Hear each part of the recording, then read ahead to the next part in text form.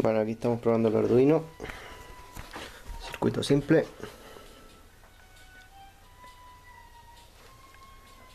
Bueno, unas pocas resistencias.